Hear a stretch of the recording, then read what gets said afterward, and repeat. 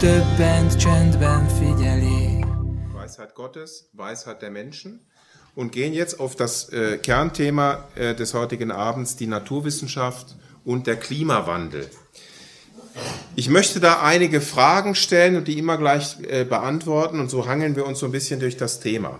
Wenn es um das Thema Klimawandel geht, sollten wir eigentlich als erstes mal definieren, was, was ist das überhaupt? Worüber reden wir? Was ist Klima? Ich habe mich hier, ich habe hier ein, äh, eine Definition verwendet vom Deutschen Umweltbundesamt, die die veröffentlichen auf ihrer Homepage. Und die definieren Klima wie folgt. Das ist der mittlere Zustand der Atmosphäre an einem bestimmten Ort oder in einem bestimmten Gebiet über einen längeren Zeitraum. Als Zeitspanne empfiehlt die Weltorganisation für Meteorologie WMO mindestens 30 Jahre. Das heißt, wenn wir uns das mal so anschauen, dann bedeutet das, es gibt gar nicht ein Weltklima. Man spricht ja immer davon, das Weltklima verändert sich. Es wird auf der ganzen Welt wärmer. Das stimmt nicht. Wenn man über Klima spricht, dann muss man verschiedene Klimazonen unterscheiden. Und da entwickelt sich das Klima ganz unterschiedlich. Zudem braucht man einen langen Zeitraum, mindestens 30 Jahre. Also wenn wir über das Klima am Wochenende sprechen, dann stimmt das eigentlich nicht, das wäre das Wetter. Dann müsste man sagen, das Wetter am Wochenende. Es wird schöner. Oder? Das ist die gute, die gute Nachricht, oder? Ähm, aber hier sprechen wir vom Klimawandel, das heißt, die langfristigen Veränderungen, mindestens 30 Jahre. Das ist im Zentrum der Aufmerksamkeit hier. Als nächstes muss man sich die Frage stellen, wie sieht denn das Klima überhaupt aus auf der Welt? Ist das stabil über so lange Zeiträume oder noch längere Zeiträume oder verändert es sich? Vielleicht ist das jetzt eine Überraschung. Der erste Satz hier oben. Das Klima ist einer unsteten Veränderung unterworfen, die regional sehr unterschiedlich ist. Und das ist überhaupt nichts Neues. Das war schon immer so. Das Klima verändert sich. Also nicht das Wetter. Das Wetter verändert sich auch, das ist klar. Das Klima verändert sich und zwar ziemlich straff. Dadurch, dass wir natürlich nicht hunderte von Jahren leben, wie die ersten Menschen damals, die ersten Generationen, die ja bis zu 1000 Jahre alt wurden, die haben das erlebt. Aber wir haben natürlich eine relativ kurze Zeit nur erlebt und ja, wir können uns vielleicht schon noch dran erinnern, dass früher mal im Winter vielleicht auch im Flachland Schnee lag. Nicht unbedingt hier in der Schweiz, da liegt auch heute noch Schnee, aber vielleicht lag früher mehr Schnee oder, oder die Sommer waren nicht ganz so heiß oder irgendwie so, solche Erinnerungen haben wir vielleicht noch. Aber ansonsten ist es schwierig für uns, das so zu, zu sehen, weil das Wetter ist irgendwie doch immer ähnlich. Also im Winter fällt mal Schnee, im Sommer scheint die Sonne, da ist es wärmer und das ist so normal für uns, oder? In der Tat sinkt aktuell die Temperatur an der Antarktis, das heißt am Südpol, denn am 1. Juli 2018 wurde mit fast minus 100 Grad die niedrigste jemals auf der Erde gemessene Temperatur gemessen. Am Südpol wird es kälter im Moment gerade. Hm. Die Grafik, die wir hier sehen, geht zurück auf ein Team von Forschern um den Professor Jan Esper vom Geografischen Institut der Johann Gutenberg Universität zu Mainz, die im Jahr 2012 veröffentlicht wurde, gemeinsam mit Forschern aus Finnland, Schottland und der Schweiz. Und sie haben diese äh, Erkenntnisse in der renommierten Zeitschrift Nature Climate Change veröffentlicht. Und diese Forschung, die sie durchgeführt, diese Forschungs, dieses Forschungsprojekt, was sie durchgeführt haben, basiert auf Untersuchungen von Baumjahrringen. Die Bäume wachsen ja und dann bilden sich diese Ringe aus in den Stämmen. Und das haben sie durchgeführt, rekonstruiert für die vergangenen 2000 Jahre. Für Nordeuropa. Sie haben dort die Jahrring-Dichte-Messungen durchgeführt von fossilen Kieferbäumen im finnischen Lappland. Und die haben sich sehr gut konserviert und haben dort diese Zeitreihe festgestellt. Wir sind also hier etwa bei Jesu Geburt und hier hinten, wo wir heute sind, im Jahr 2000, 2020, damals 2015. was sehen wir auf dieser Darstellung? Wir haben hier die Zeitachse und wir haben hier die Temperaturveränderung um ein Mittel und ein, um einen Durchschnitt der letzten 2000 Jahre.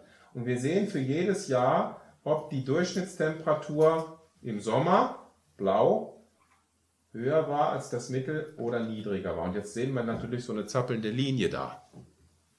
Und das kann man, kann man ja gar nicht so richtig gut erkennen. Da kann man so Mittelwerte drüber legen. Und das ist die, die ähm, weiße Kurve hier. Und man sieht, auch die, die Ausschläge sind nicht mehr so stark wie bei der blauen Kurve, aber sie sind immer noch, es verändert sich. Also das, die Temperatur, die Durchschnittstemperatur auf der Erde ist in den letzten 2000 Jahren nicht konstant geblieben keine riesigen Ausschläge, plus 10 Grad, minus 10 Grad oder so. Aber immerhin schon mal hier so um 1 Grad plus minus.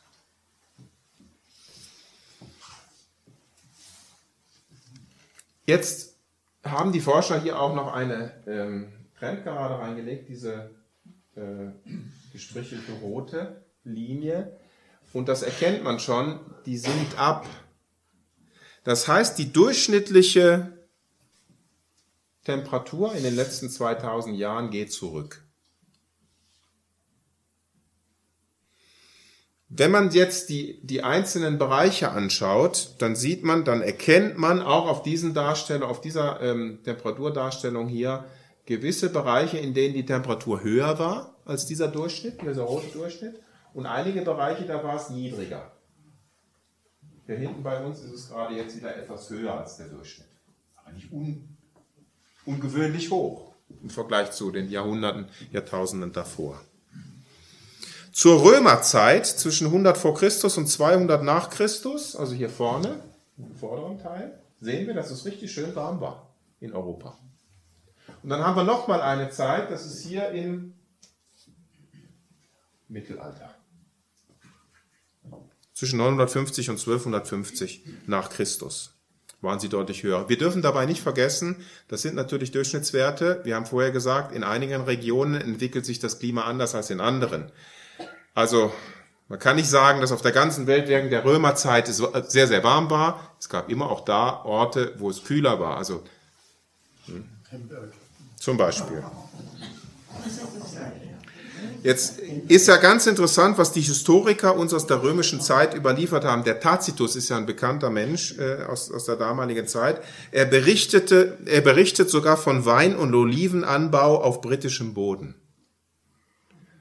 Ja, wer würde von uns den britischen Wein trinken? Sehr sauer heute, oder? Das ist halt heute nicht möglich. Damals war das völlig normal. Ägypten war die Kornkammer des Römischen Reiches. Ägypten ist heute mit Ausnahme von den Regionen in der Nähe vom Nil eher Wüste, ne? Kein Korn. Damals war das die Kornkammer, die haben das ganze Römische Reich versorgt mit Korn, mit Nahrungsmitteln. Im dritten Jahrhundert begann der Niedergang des römischen Reiches und dieser Niedergang hatte verschiedene Gründe und einer der Gründe war der, die sinkenden Durchschnittstemperaturen. Denn wir haben eine wachsende Bevölkerung im römischen Reich gehabt in dieser Zeit. Auf der einen Seite und auf der anderen Seite kam aus Ägypten kein Korn mehr. Die haben keine Nahrungsmittel mehr gekriegt, um ihre Bevölkerung zu versorgen. Dann gab es, dann setzten die Völkerwanderungen ein der Goten, der Franken, der Vandalen aus dem Norden, die nämlich versuchten, diesem schlechter werdenden Klima, dem kälter werdenden nordischen Klima zu entfliehen und sind nach Süden ausgewichen. Dann gab es im Hochmittelalter, so eben äh, etwa so ab 850, 900, ähm, wieder eine Warmzeit, Und während dieser Warmzeit sind die Wikinger in der Lage gewesen, Grönland und Island zu besiedeln. Die haben da Ackerbau und Viehzucht betrieben. Auf Grönland. Und heute machen wir uns Gedanken, dass da das Eis schmilzt und so. Das war für die gar kein Thema. Grönland heißt Grünland. Das war grün. Ja, wir haben es nicht erlebt. Wir waren damals nicht dabei. Aber äh, es ist so. Dann setzte die kleine Eiszeit ein. Und dann ging es bergab mit der Menschheit, zumindest in Europa. Denn wir müssen uns wirklich merken, Warmzeiten sind Blütezeiten gewesen. Warmzeiten ist nicht unbedingt trocken. Die Temperaturen sind etwas höher. Was heißt nicht, dass es Dürre herrscht. Das kann man nicht unbedingt gleichsetzen. Kaltzeiten dagegen waren immer schwierige Zeiten, immer Mangelzeiten. Sehr, sehr häufig auch mit starken Regenfällen den ganzen Sommer durch. Hat es nur geregnet, so wie heute. Da, da wächst überhaupt nichts, das verfault alles. Das waren eben nicht Dürrezeiten, waren unbedingt die schwierigen Zeiten, sondern eher die regenreichen Sommerzeiten waren schwierig. Ganz besonders während dieser kleinen Eiszeit. Etwa 1500 begonnen, so rum. Man sieht das hier unten, etwas vorher, schon im Norden. Niedriger. Und dann natürlich ganz starke Ausschläge hier unten. Und äh, das ist dann schon heftig. Das führte dann zu massiven Ernteeinbußen in ganz Europa. Äh, die Preise sind angestiegen für die Nahrungsmittel, die sind explodiert, schier explodiert. Hungerkatastrophen, Kriege. Die Leute wollten zu essen haben, ist klar, oder? Kritische hygienische Bedingungen, Ausbruch von Seuchen, wie zum Beispiel die Pest und so weiter. Was machen die Menschen dann in der Phase? Sie suchen sich den Sündenbock. Wer ist da schuld gewesen? Die Juden und die Hexen. Die Hexen. Die Hexen. Die Juden und die Hexen. Und die haben sie verfolgt. Jetzt setzt das, setzte etwa um 1800, 1850 die kleine, äh, ging die kleine Eiszeit zu Ende.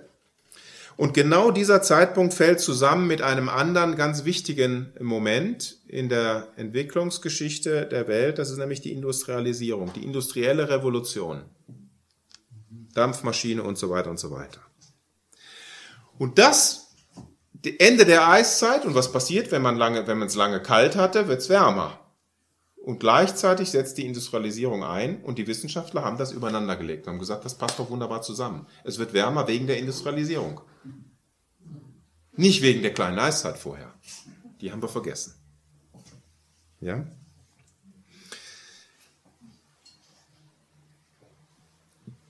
Besonders zwischen 1910 und 1940 ist die Temperatur angestiegen, hat dann, ist dann wieder etwas abgekühlt bis etwa 1975. Und das ist auch noch ganz interessant. 1972, also vor 50 Jahren, das ist noch nicht lange her. Viele von uns haben das äh, ganz aktiv miterlebt. Ich war damals noch ein kleines Kind, aber Viele von euch haben das miterlebt. 1972 haben die Wissenschaftler und Politiker vor einer möglichen neuen Eiszeit gewarnt und alle Hebel in Bewegung gesetzt, äh, dagegen was zu unternehmen. Das ist vor 50 Jahren gewesen. Heute redet keiner mehr über eine Eiszeit. Ganz im Gegenteil. Zwischen 1975 und 1998 sind dann die Temperaturen wieder angestiegen und alle Wissenschaftler waren dann wieder glücklich, oder? Passte wieder in ihr Schema rein. Und interessant ist, genau in dieser Zeit nahm der Gehalt des CO2 in der Atmosphäre zu. Die Konzentration des CO2 in der Atmosphäre betrug 1850 280 ppm, das ist die Maßeinheit. Und heute sind es etwa 400 ppm. Also wir haben viel mehr äh, CO2 in der Atmosphäre. Das ist immer noch sehr, sehr wenig. Aber es ist halt mehr, als es vorher war.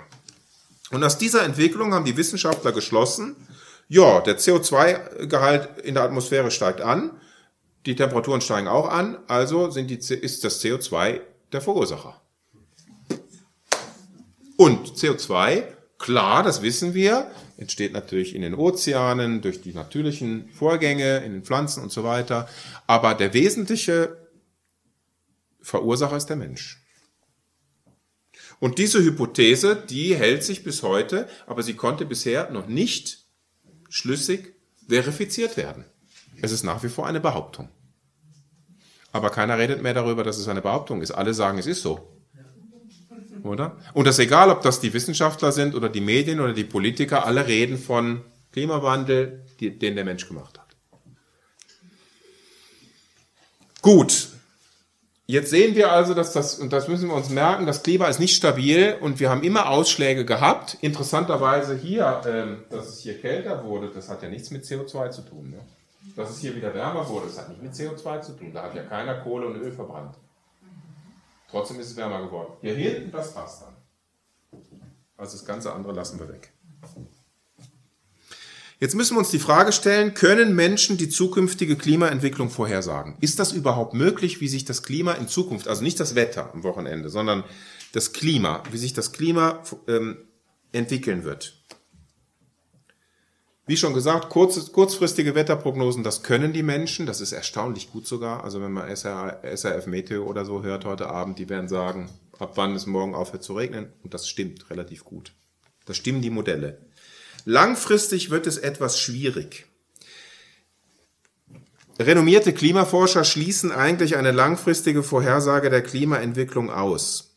Wir haben hier in dem Bericht des Weltklimarates, das ist ähm, eine politische äh, Organisation der UNO, der Vereinten Nationen, die selber das Klima nicht erforschen, aber sie sammeln äh, Forschungsergebnisse von verschiedenen Forschungsinstitutionen und, und bündeln die zusammen und entwickeln daraus äh, neue Erkenntnisse. Haben in einem Bericht 2007 das folgende geschrieben. Das Klima ist ein schwer zu modellierendes chaotisches System und deshalb ist eine langfristige Vorhersage zukünftiger Klimazustände nicht möglich. Nicht möglich? Aber die sagen doch, dass das Klima wärmer wird. Wo, wo kommen die denn auf diese Idee? Wenn sie selber sagen, es ist so, so schwierig, dass sie es nicht können, machen sie es aber trotzdem. Ist noch spannend, ne? Der amerikanische Atmosphärenphysiker Richard Lindzen, den wir hier unten sehen, erklärt, dass das Klima mit einer Vielzahl von Faktoren zusammenhängt, unter anderem den Bahnvariationen des Erdlaufs, der Neigung der Erdachse, der Sonne, ganz klar, die spielen eine große Rolle, und weiteren kosmischen Faktoren wie Wolken, Ozeanen und viele mehr. Und er schreibt dann, wirklich nur einen Satz, nichts davon ist vollständig verstanden. Und er ist Atmosphärenphysiker, also der darf das schon sagen.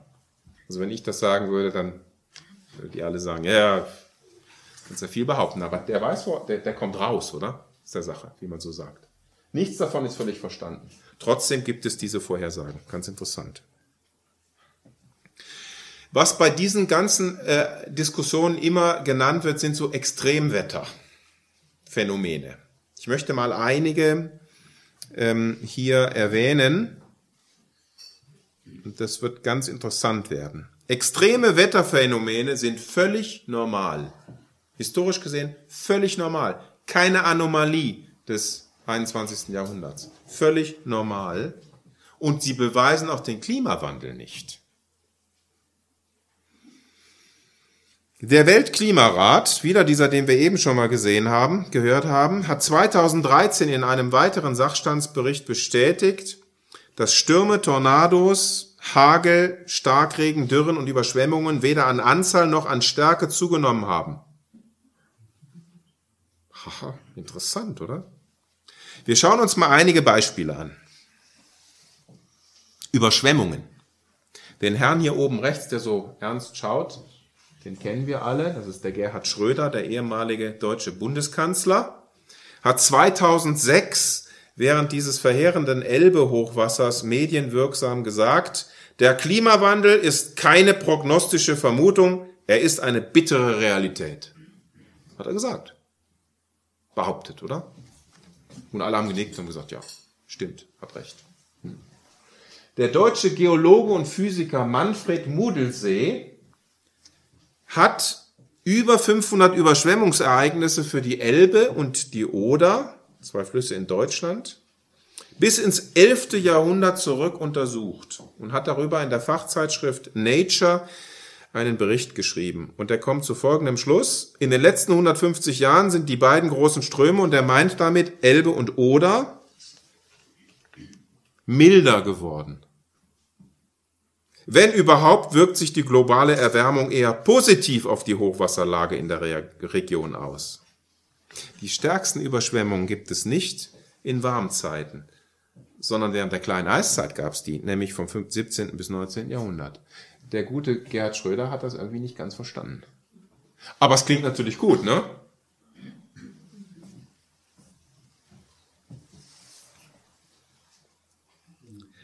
Tropenstürme. Also wer sieht, wer sieht die Bilder nicht vorsichtig, die da im Fernsehen übertragen werden, Satellitenbilder, wenn wieder irgendein so Tropensturm da auf Florida zuläuft und so weiter. Ne? Tropenstürme. Der amerikanische Meteorologe Ryan Maue hat die Anzahl der tropischen Stürme und Hurricanes seit 1970 veröffentlicht. Das sehen wir hier. Hier 1970 bis 2020. Anzahl von 0 bis 120. Während zwölf Monaten jeweils. Also große Veränderungen gab es da eigentlich nicht, oder? Sieht man die? Das zappelt natürlich auch wieder so ein bisschen her. Da gibt es einige, da sind es mal 110 gewesen im Jahr, dann sind es mal nur 70 und so. Aber irgendwie, wenn man da so ganz unbedarft so eine Gerade reinlegen würde, so eine Trendgrade reinlegen würde, dann geht es irgendwie so da quer durch, oder? Relativ stabil. Hier oben bei den tropischen Stürmen und bei den Hurricanes genauso. Wenn man genauer hinsieht, und äh, das haben die Forscher natürlich gemacht, erkennt man eine leichte Zunahme von der Mitte der 80er Jahre hier oben. Das geht so ein bisschen hoch. Die Spitzen sind auch etwas höher. Hier vorne war es auch schon mal spitz, oben. Weil da ist es etwas höher und hier unten geht es schon wieder ein bisschen runter. Also in den letzten 20 Jahren hat die Anzahl eher ein bisschen, zu, ein bisschen abgenommen. Und das gleiche sehen wir hier unten bei den Hurricanes. Da haben wir viele in dieser Zeit hier. Und hier hinten geht es wieder ein bisschen runter. Stimmt also gar nicht so recht. Jetzt haben wir etwas weiteres, was auch interessant ist, und da kommen wir so ein bisschen auch in die Schweiz. Das sind die Gletscher. Schauen uns noch die Gletscher an, dann gleich noch so ein bisschen die Polkappen und dann den Meeresspiegelanstieg.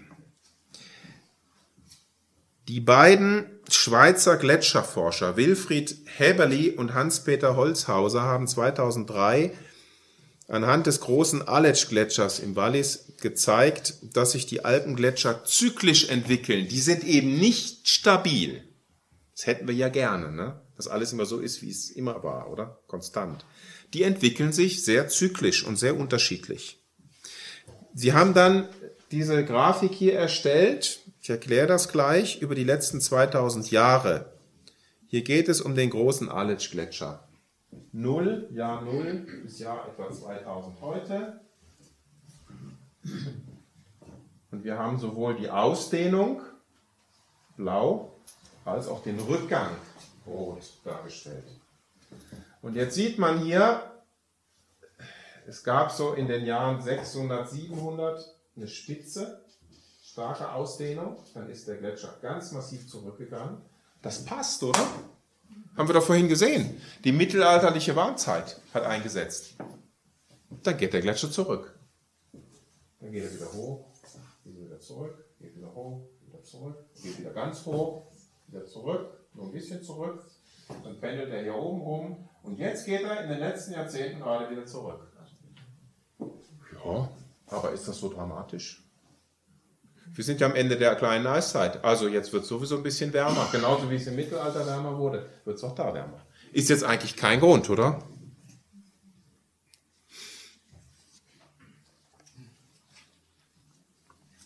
Schauen wir uns das nächste Thema an, das wären die Polkappen. Nordpol, Arktis, Südpol, Antarktis. Da kriegen wir ja auch alarmierendste Nachrichten immer wieder präsentiert, die äh, ähm, Eisberge, die abbrechen und das alles schmilzt und die armen Eisbären, die sitzen jetzt auf den Schollen, kriegen nichts mehr zu essen und so. Die haben ganz andere Probleme, weswegen sie kein Essen kriegen, nicht wegen der schmelzenden Polkappen. Wir müssen uns da auch zuerst mal den Nordpol anschauen und gleich nochmal den Südpol, weil das sind zwei unterschiedliche Regionen, die sich ganz unterschiedlich entwickeln im Moment. Die Eisdecke am Nordpol ist sehr dünn und sie unterliegt ziemlich starken Schwankungen. Ich glaube, wir haben alle noch im Hinterkopf, dass im, in der Mitte des 20. Jahrhunderts schon mal etwas passiert ist dort. Da ist nämlich das US-amerikanische U-Boot Nautilus 1958 unter dem Nordpol durchgetaucht. Auf der anderen Seite wieder äh, rausgekommen aus dem Wasser. Und ein Jahr später, das weiß kaum jemand, gab es noch mal jemanden, nämlich das, äh, der da mit dem U-Boot Skate, das ist auch ein Atom-U-Boot der Amerikaner gewesen, zum Nordpol gefahren ist und der ist 1959 im Sommer aufgetaucht. Und das sah dann so aus. Am Nordpol. Da ist gar nicht viel Eis. Ne? Die sind einfach aufgetaucht und waren da. So, es ist jetzt also gar nicht ungewöhnlich, dass da mal ein bisschen weniger Eis ist. Gab es auch schon. Schon im letzten Jahrhundert gab es das. Die Abbildung, die ich hier jetzt zeige, zeigt den Temperaturverlauf nördlich vom 80. Breitengrad für das Jahr 2019. Und die, das ist die rote Kurve. Und die grüne Kurve ist die, Durchschnitts, ist die Durchschnittstemperatur in den Jahren 58 bis 2002. Also im Winter, ne? Januar, 1. Januar, 31. Dezember, das ist in jedem Jahr gleich. Hier haben wir die Temperatur dargestellt in Kelvin. 273 Grad Kelvin sind 0 Grad Celsius. Ja. Und da, wo es blau ist, da ist 0 Grad. Alles darunter wird es eisig, alles darüber schmilzt das Eis. Und ist klar, oder? Im Winter ist es kalt, ne? So minus 40 Grad, plus minus. Da schmilzt das Eis nicht. Und im Sommer haben wir natürlich eine kleine Phase hier, wo, wo das Eis schmilzt. Da haben wir etwa 3 Grad. Aber wenn wir das mal anschauen für das Jahr 2019, die rote Kurve, äh, wo, wo sind die großen Unterschiede? Die sind im Winter.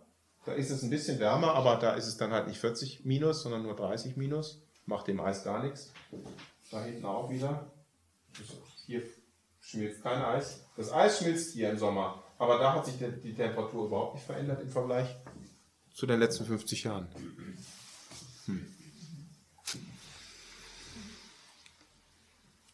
Gemäß den Daten des britischen Center for Polar Observation and Modeling nimmt die Eisdicke am Nordpol seit 1978 jährlich um ca. 7 mm zu. 7 mm im, im Jahr sind schon 7 cm ähm, in 10 Jahren, aber redet doch gar keiner drüber. Ich habe davon noch nie was gehört irgendwo, noch nie was gelesen. Gehen wir mal zur Antarktis. Die Temperaturen in der Antarktis, das haben wir schon gesehen, der Südpol ganz unten im Süden, sind rückläufig. Und die Eisbilanz der Antarktis ist zunehmend. Da baut sich Eis auf. Seit den 1990er Jahren übersteigt die Neueisbildung durch starke Schneefälle, das ist klar, wenn viel Schnee fällt, dann wird daraus Eis. Besonders im östlichen Teil der Antarktis, und das ist der eisreiche Teil, der westliche Teil, der kann sich durchaus erwärmen, da kann auch durchaus etwas Eis schmelzen, da gibt es sehr wenig im Vergleich zum Osten. Im Osten baut sich der Eispanzer auf. Wir sehen hier wieder eine Abbildung der Eisbedeckung in der Antarktis nach dem amerikanischen National Snow and Ice Data Center. Die kümmern sich um sowas, die messen das. Wir haben hier wieder die Monate von Januar bis Dezember. Wir haben die schwarze Linie, die kann man etwas schlecht erkennen, die ist genau in der Mitte von diesen ganzen, von diesen ganzen Linien hier. Die schwarze Linie, das ist der Durchschnitt der Jahre 1981 bis 2010. Und dann haben wir für jedes Jahr hier dargestellt die Ausdehnung in Millionen von Quadratkilometern. Natürlich ist das ähm, im Südpol anders als am Nordpol. Am Südpol ist ja im, am Anfang des Jahres warm. Oder? Da ist die Ausdehnung geringer. Da ist Sommer. Und im, wenn, wir hier, wenn wir hier warm haben, haben sie es kalt, als die Ausdehnung größer. Aber hier ändert sich so gut wie gar nichts. Und wenn man sich die, die Kurve für, für 2020 anschaut, die rote, die, ist, die geht hier bis, bis Ende April. Die läuft fast deckungsgleich wie, die, wie der Durchschnitt der Ausdehnung dieser 30 Jahre ja, so kann man kaum erkennen, ne? dass da irgendwie das Eis zurückgeht. Komisch. Trotzdem warnt der Weltklimarat in dem Bericht von 2018 vor einem massiv ansteigenden Meeresspiegel, weil die Polkappen ab, abschmelzen. Ja, wo schmelzen sie denn ab? Sie schmelzen nicht ab. Sie warnen davor und sagen, tja, die Inseln im Pazifik, die werden alle versinken. Sind keine Inseln im Pazifik. Die küstennahen Regionen auch nicht. Also ja, ist wieder mal so eine Behauptung, die bisher noch nicht verifiziert ist. Forscher der Hebrew University of Jerusalem in Israel und zwei andere, zweier anderer amerikanischer Universitäten haben in 2015 unter Leitung dieses Herrn hier, das ist ein Ökonom aus Israel, Michael Benstock, eine Studie veröffentlicht, nach der der Meeresspiegel jährlich um 0,4 bis 1 Millimeter ansteigt. Ein Millimeter steigt der Meeresspiegel an. Man muss sich auch darüber im Klaren sein, der Meeresspiegel ist nicht überall gleich hoch. Die Erde ist ja auch nicht rund wie ein Tennisball, sondern die hat Ausbeulungen und so weiter. Ja, 0,1 Millimeter steigt der pro Jahr, oder? 0,4 bis 1 Millimeter. Eine Beschleunigung konnte nicht nachgewiesen werden. Es nimmt also nicht zu. Wenn wir das also mal ausrechnen, ganz einfache Mathematik, bis zum Jahr 2100 steigt der Meeresspiegel im schlechtesten Fall um 8 Zentimeter. Das ist so viel. So, also welche, welche Inseln versinken im Meer? Wie ist das mit Hamburg und Amsterdam und New Orleans? Alles versunken, oder? Man sieht nichts mehr. So. Aber seit Ende der Eiszeit ist der Meeresspiegel um 120 Meter gestiegen. Also wenn man 120 Meter kann ich jetzt nicht darstellen, im Vergleich zu 8 Zentimeter sieht, das ist ja nix. Und wir reden hier von 80 Jahren. Also Panik wird da gemacht. Es wird Panik gemacht. So, jetzt muss man sich natürlich überlegen, wir haben gehört, der CO2-Gehalt ähm, der Atmosphäre ist schuld. Kann dieser Anstieg des CO2 in der Atmosphäre von Menschen verursacht werden? Das kann er. Das stimmt schon muss man sagen, das stimmt schon. Nur der Anteil, den der Mensch verursacht, ist verschwindend gering. Das sagt aber keiner. Die natürliche CO2-Emission pro Jahr beträgt etwa auf der ganzen Welt 800 Gigatonnen CO2. Davon verursacht der Mensch etwa 5%. 95% entstehen in der Natur. Durch Ausgasung aus den Ozeanen, wenn es etwas wärmer wird, kommt das CO2 raus. Das ist so, wie wenn man eine Mineralwasserflasche, wo, wo Kohlensäure drin ist, erhitzt, steigt die Kohlensäure aus dem Wasser raus. So ist das auch bei den Ozeanen. Es geht etwas langsamer, aber es ist genauso. Also etwa, man rechnet damit, dass etwa 1,5 bis 2 Prozent des jährlich auftretenden CO2 wohl der Grund für den Anstieg des CO2 in der Atmosphäre ist. Das meiste wird wieder aufgenommen.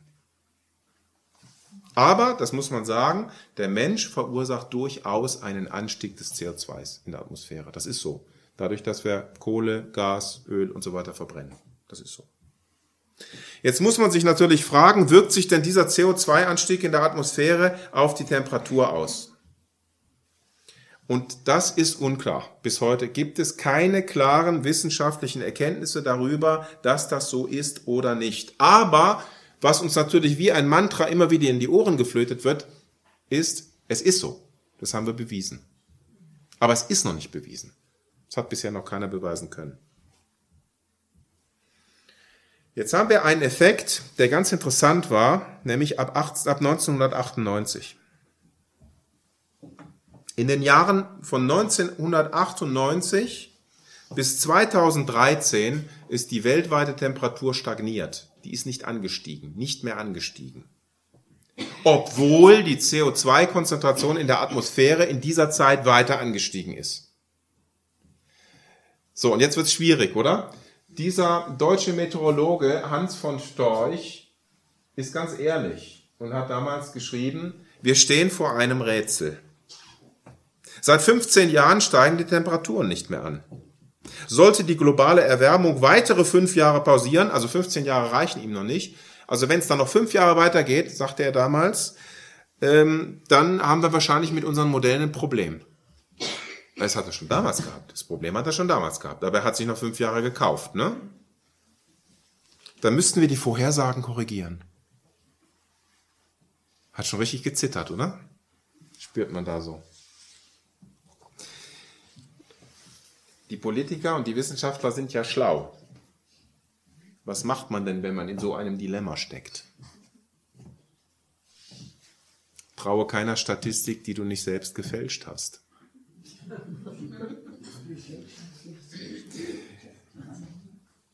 Die Modelle sind nicht korrigiert worden.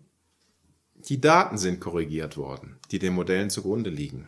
Beispiele. In 2015 wurden erste Berichte über die Manipulation der US-amerikanischen Wetter- und Ozeanographiebehörde NOAA bekannt. Die haben Bojendaten aus bestimmten Meeresregionen, in denen es kaum Bojen gibt, einfach hochgerechnet, also stärker gewichtet. Und das waren halt Bojen, die höhere Temperaturen gemessen haben. Wenn man die stärker gewichtet, die Bojen etwas weniger stark gewichtet, die niedrigere Temperaturen messen, wird die Durchschnittstemperatur einfach ansteigen. Seit 1990 wurden viele Messstationen in ländlichen Regionen, in Höhenlagen und in höheren geografischen Breiten, also Richtung Nordpol, aus den offiziellen Statistiken entfernt. Man hat halt eher die Messstationen stärker gewichtet, die in städtischer Lage, in Großstädten angesiedelt sind. Und in Großstädten ist es typischerweise etwas wärmer als auf dem Land und auch typischerweise etwas wärmer als auf dem Berg. Und zudem hat dann die Obama-Administration, also die US-amerikanische Regierung unter Obama, die NASA angewiesen, die Messdaten der Satelliten zu korrigieren. So. Der amerikanische Physiker Stephen Kunin, der war in den Jahren 2009 bis 2011 Unterstaatssekretär im US-amerikanischen Energieministerium, hat dann später die, Öffn die Datenfälschung bei diesen beiden Institutionen öffentlich eingestanden. Und jetzt ist es wirklich der Hammer. Der sagt dann, mit diesen Fälschungen sollte die neue US-Klimapolitik der Administration Obama wissenschaftlich untermauert werden. So, also mit falschen Daten wird irgendwie sowas untermauert. Und der Unterstaatssekretär muss das sagen. Es hat keinen interessiert, oder? Obama hat sich dann zu nicht herabgelassen, hat nichts dazu gesagt. Und keinen interessiert. Die geben uns falsche Daten. Und dann stimmen die Modelle auf einmal wieder, klar. Vielleicht, vielleicht, es werden dann immer Modelle gezeigt, wo, wo die Temperatur über Jahrhunderte hinweg konstant ist und ganz zum Schluss geht's hoch. Das nennt man Hockeyschläger, Hockeystick-Modell. Ganz zum Schluss geht's steil hoch, weil natürlich die anderen Daten alle korrigiert wurden. Dann sieht das so aus. Natürlich kann man alle Statistik, statistischen Daten so manipulieren, dass sie so aussehen, wie sie aussehen sollen. Im Übrigen, diese ganzen Daten findet man im Internet. Das ist jetzt also nicht irgendwie geheim. Ne? Das findet man. Das ist ganz, ganz zugänglich. Jetzt wird's noch interessanter. Nachdem in den letzten Jahren ja die Temperaturen dann wieder angestiegen sind, die, die Wissenschaftler, die hatten schon Schweißperlen auf der Stirn, ne? das mit den ihren Modellen geht nicht und so. Dann sind die Temperaturen tatsächlich wieder angestiegen seit 2013, leicht. Und jetzt gibt es neue wissenschaftliche Daten, die auf eine bevorstehende Abkühlung der Erdtemperatur hinweisen. Es gibt ein britisch-russisches Team von Wissenschaftlern um die Mathematikerin und Astronomin Valentina Zarkova, die wir hier unten sehen, die Dame. Die hat in der renommierten wissenschaftlichen Zeitschrift Nature in 2019 eine Studie veröffentlicht, gemäß der mit großer Wahrscheinlichkeit eine erhebliche Abkühlung der Erde aufgrund des zyklisch auftretenden Wandels der Sonnenflecken, da haben wir auch schon mal was von gehört, die Sonnenflecken, dem Taumeln der Erde um die Sonne und der Neigung der Erdachse bevorsteht. Also es wird kühler. Es wird kühler und nicht wärmer. Mit großer Wahrscheinlichkeit. Panik bricht aus. Ne?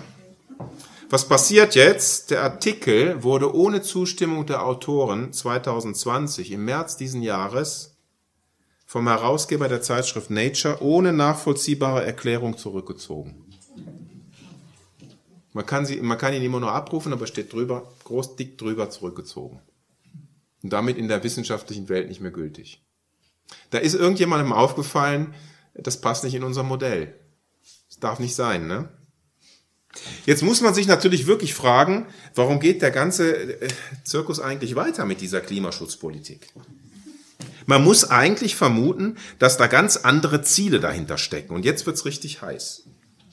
Die ehemalige kanadische Umweltministerin, die wir hier oben rechts sehen, Christine Stewart, die mittlerweile schon äh, gestorben ist 2015. Sie sagte, es ist egal, ob die Wissenschaft der globalen Erwärmung komplett an den Haaren herbeigezogen ist. Es ist egal, dass die Wissenschaft an den Haaren herbeigezogen ist.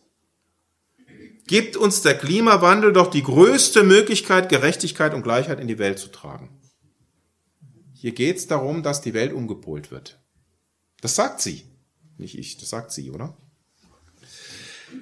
Der deutsche Ökonom und Direktor des Potsdam Instituts für Klimafolgenforschung, Ottmar Edenhofer, schreibt, wir verteilen durch die Klimapolitik de facto das Weltvermögen um. Aha, darum geht's ums Geld, oder?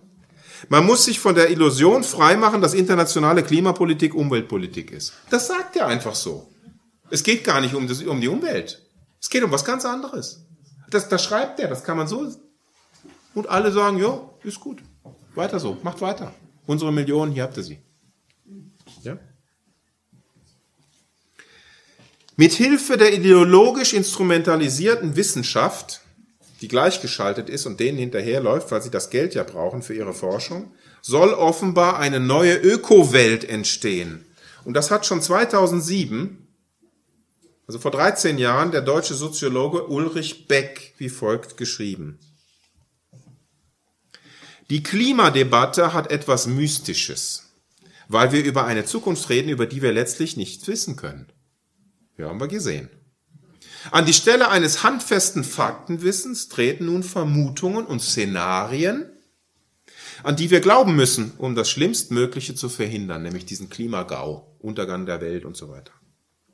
Plötzlich ist es notwendig, die Menschheit zu retten. Aus diesem hohen Wert lassen sich Prestige, Machtchancen, neue Institutionen, ein politischer Mehrwert im transnationalen Bereich gewinnen. Klimapolitik stellt eine Sinnressource für die delegitimierte und von Vertrauensverlust gezeichnete Politik dar. Endlich haben die ein Thema, wo sie sich mit profilieren können. Es geht noch weiter. Es wird noch relativ heftig. Der deutsche Soziologe Gerhard Schulze ergänzt wie folgt. Was wir in den letzten Jahren in der Klimadebatte erlebt haben, war die Geburt einer konstruierten Gewissheit mit großer Suggestivkraft konstruierte Gewissheit. Das ist schon toll, die Begriffe, ne? Ihr Erfolg hat mit eingängiger Erzählbarkeit und Dramatisierbarkeit zu tun, aus der zunächst die Medien Schlagzeilen machten und dann die Politiker Programme. Es kommt in allen politischen Parteien vor. Inzwischen ist das Paradigma vom menschengemachten Klimawandel nicht nur mächtig geworden, sondern es stattet auch mit Macht aus. Zu viele Politiker sind mittlerweile auf den Zug aufgesprungen. Es darf gar nicht mehr falsch sein. Also bitte nicht kalt, oder? Dann müssen wir irgendwie die Heizung anmachen, dass das da weitergeht draußen. Ne?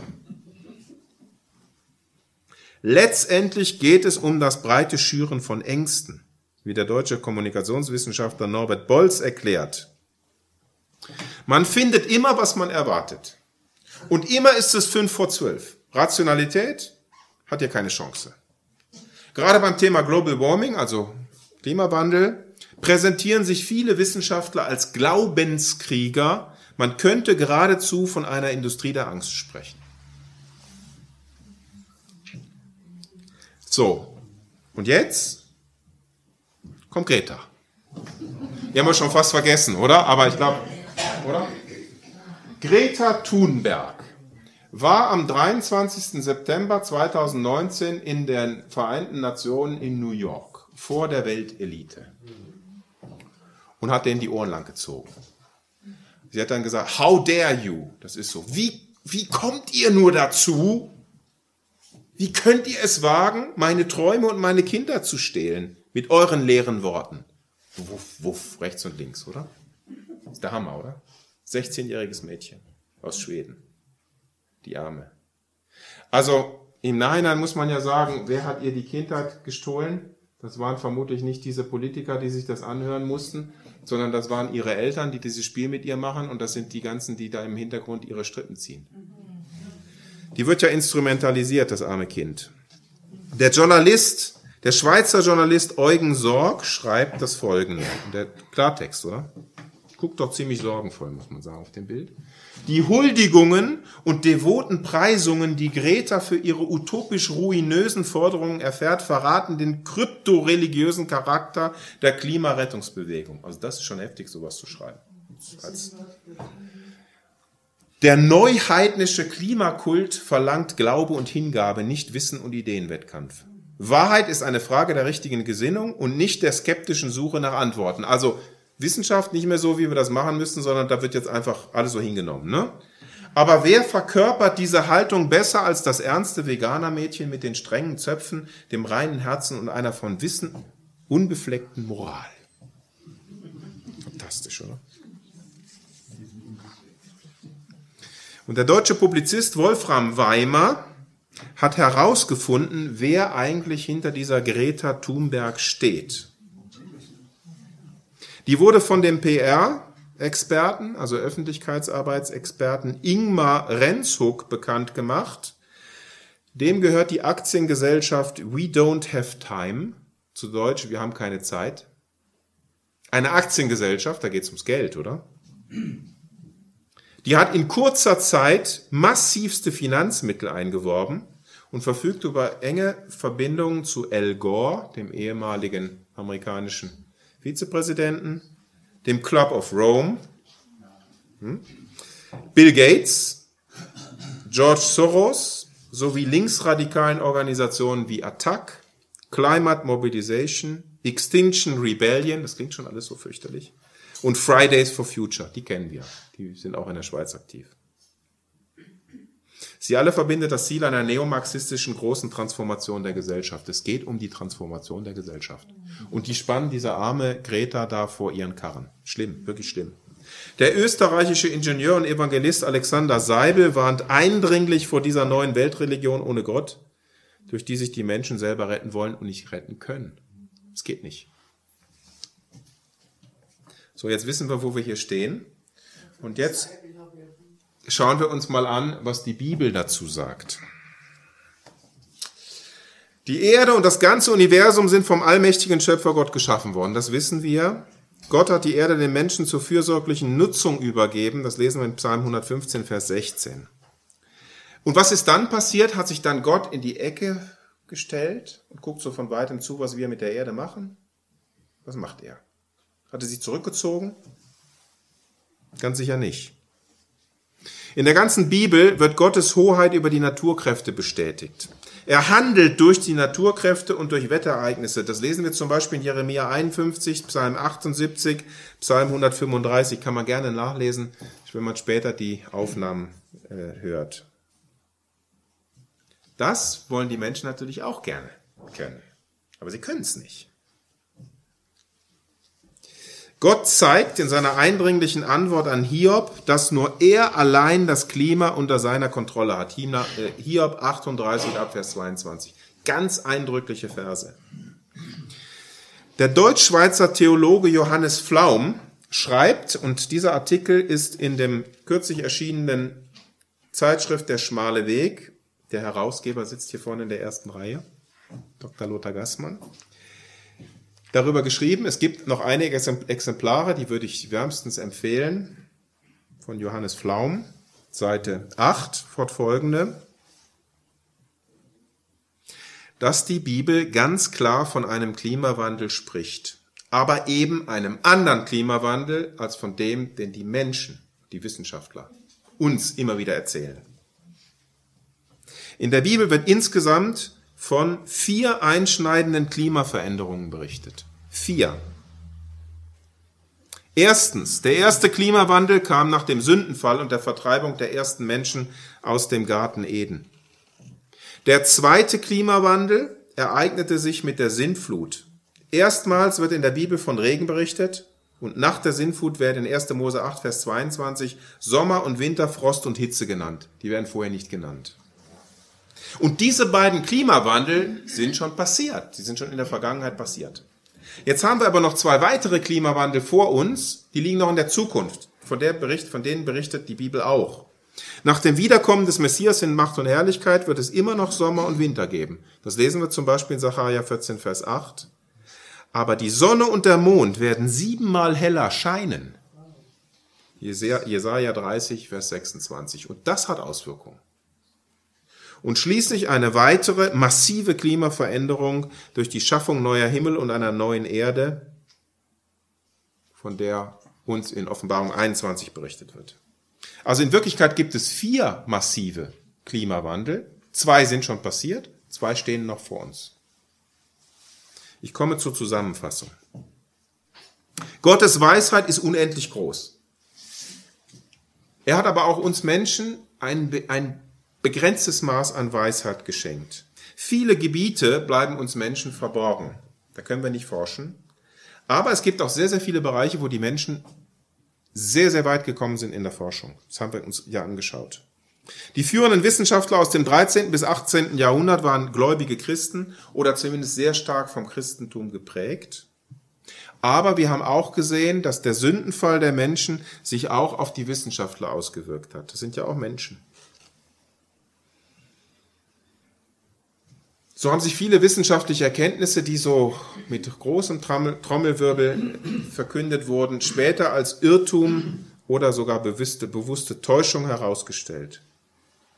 Unbewiesene Theorien werden als Tatsachen dargestellt, wie zum Beispiel die Urknalltheorie, die Evolutionstheorie, die Freudsche Psychoanalyse. Und Wissenschaftler, die daran Zweifel äußern, auch Zweifel an dieser Klima, an diesem Klimawandel äußern, die werden lächerlich gemacht bzw. aus dem Verkehr gezogen. Wir haben gesehen, dass sich das Klima verändert und das stimmt auch. Das Klima verändert sich. Es wird wärmer. Das ist so. Es wird wärmer. Seit einem Jahrhundert etwa. Anderthalb Jahrhunderten. Wird es wärmer? Aber die Schlussfolgerung, dass die Menschen das verursachen, und zwar komplett verursachen, die stimmt nicht und konnte bisher noch nicht belegt werden. Dennoch halten die Wissenschaftler, Politiker und die Leitmedien stur an dieser Theorie fest und das kommt wirklich wie so ein Mantra, immer wieder, immer wieder. Ich würde euch auch empfehlen, einfach mal in den nächsten Wochen mal genau zu, zu schauen, wenn ihr die Tageszeitung aufschlagt oder wenn ihr im Radio hört, ähm, Nachrichten im Fernsehen. Das Thema kommt immer wieder. Und es ist immer wieder die gleiche Nachricht, die uns da in die Ohren geflötet wird. Das ist die neue Klima Weltklimareligion. Die Bibel ist glasklar und spricht eigentlich von etwas ganz anderem. Sie beschreibt vier sehr gravierende Klimaveränderungen. Zwei sind schon passiert. Sündenfall und Sintflut. Und zwei liegen noch in der Zukunft. Nämlich dann, wenn der Herr Jesus wiederkommt in Macht und Herrlichkeit und wenn er einen neuen Himmel und eine neue Erde schaffen wird. Ich möchte den Vortrag abschließen mit den ersten Worten aus einem bekannten christlichen Lied. Dort heißt es, Gott ist noch auf dem Plan und alles ist ihm untertan. Ich glaube, viele von uns können das mitsingen, könnten das mitsingen, wenn wir singen dürften. Gott kommt an sein Ziel. Egal, was die Wissenschaftler, die Politiker und die Verschwörungs Weltverschwörer hier uns immer noch in die Ohren einflöten. Die Klimareligion ändert daran nichts. Gott kommt an sein Ziel. Ich habe hier noch einige Literaturhinweise. Einiges, einige sind christliche äh, Autoren, wie der Francis Schaeffer zum Beispiel. Auch der Wolfgang Leisenberg ist ein deutscher ähm, Professor die verborgene Wirklichkeit. Werner Gitt habe ich darauf hingewiesen. Es gibt aber auch einige nicht-christliche Autoren, die äh, große Zweifel haben an dieser Klimatheorie. Kulturgeschichte des Klimas, wenn man das liest, ist ein relativ dicker Schinken. Aber wenn man das liest, der hat also erforscht, was im Mittelalter da gelaufen ist und in der kleinen Eiszeit, das ist erschreckend. Also wenn wir das gar nicht mehr wüssten. Dann haben wir natürlich den Thomas Lachenmeier. Ich habe einige Exemplare bekommen äh, als Gratis-Verteilhefte von, von Faktum aus dem Schwengeler Verlag. Es hat in der aktuellen Ausgabe einen sehr schönen Bericht von einem deutschen Volkswirtschaftsprofessor, Werner Lachmann, er schreibt, heute glaube ich, er hatte recht. Zahlreiche Studien beschwören die These einer menschengemachten Klimakatastrophe, doch wie zuverlässig sind diese? Gedanken und eigene Erfahrungen von Professor Dr. Werner Lachmann. Extrem interessant. Und viele weitere Artikel, die gerade auch in der Ausgabe sehr interessant sind. Es liegen etwa 25 äh, Gratishefte dort ähm, draußen. Und der äh, Raphael Berger von, vom Schwengerler Verlag ist heute auch bei den Tagesgästen dabei. den kann man auch ansprechen. Darauf er hat, hat auch einen sehr guten Artikel geschrieben in dieser Zeitschrift. Und dann möchte ich noch hinweisen, auch das habe ich erwähnt, den Bericht von Johannes Flaum in Der schmale Weg, Ökoreligion, Klimawandel und flache Erde, Ausgabe 1 2020 vom Christlichen Gemeindedienst von Lothar Gassmann. Sind auch sehr viele Exemplare dort hinten noch, kann man gerne mitnehmen. Wem der Vortrag heute Abend zu wenig naturwissenschaftlich war, vielleicht waren einige von Ihnen dabei, die gesagt haben, Mensch, ich hätte doch viel, viel lieber so, so Statistiken gesehen und Diagramme und so, empfehle ich den sehr interessanten Vortrag von Dr. Markus Blietz, einem deutschen, äh, gläubigen deutschen Physiker, fantastisch, der heißt Droht uns ein Klimakollaps? 2015, ist immer noch hochaktuell. Ich habe den heute Nachmittag nochmal gesehen, war fantastisch. Und da muss man sich allerdings schon recht anschnallen, weil der geht in die Tiefe. Das ist ein Physiker und das, das spürt man ihm auch an. Also wenn, wenn da Interesse besteht, kann ich das empfehlen. Dr. Markus Blietz droht uns ein Klimakollaps. Etwa 90-minütiger Vortrag. Kann man gratis runterladen. Dann gibt es noch weitere ähm, Hinweise hier einige Bücher, die auch Lothar auf dem äh, Lothar Gassmann auf dem äh, Büchertisch hat. Was wollen die Grünen wirklich? Entstehung und Programm der Grünen kritisch analysiert. Countdown 2020, wie weit sind wir in der Endzeit? Ganz aktuell hier unten, ne? Corona. Und dann auch noch ein ganz interessantes Buch von der nachfolgenden Generation, Tabitha Gassmann, Tochter von Anna und Lothar. China, die neue Supermacht, ist, äh, so viel ich gehört habe, ein äh, Bestseller mittlerweile schon. Sehr schön. Genau. Also das liegt alles drüben. Ihr könnt auch gerne nachher noch schauen. Äh, wenn Fragen bestehen, stehe ich auch gerne noch zur Verfügung, wenn einzelne Themen noch gefragt werden. Ich möchte dann zum Abschluss noch mit uns beten und möchte euch bitten dazu, auch wenn möglich, aufzustehen. Ja, Jesus Christus, wir wollen dir ganz herzlich danken, dass du uns in deinem Wort so klar sagst, dass du die Weisheit bist, Herr. Hab Dank, dass du uns auch Weisheit geschenkt hast, begrenzte Weisheit als Menschen, dass wir das erkennen dürfen, dass wir das auch in deinem Wort lesen dürfen. Hab Dank, dass wir die Zeichen der Zeit erkennen können und auch verstehen können. Und dass du das auch bestätigst in deinem Wort.